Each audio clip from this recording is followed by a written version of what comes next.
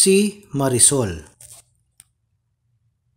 Walang tumpok ng papel ang kusang nagliliyab o masidhing damdamin na bastang mag-aalab.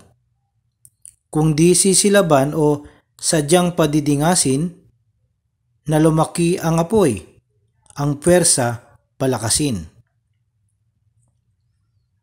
May mga taong likas kung mamintas, malutong. Mistulan silang gaas, mahusay na manggatong. Ang maliit na dingas, goal nilang mapasiklab. Hanggang sa magalit ka at tuluyang mag-alab. Ang feature natin ngayon ay itong si Marisol na mas kilala mo nga bilang si Maring Sulsul. Kaya wag magpadala sa panggagatong nila. Makitungo ng tama sa mga kakilala. Si Marisol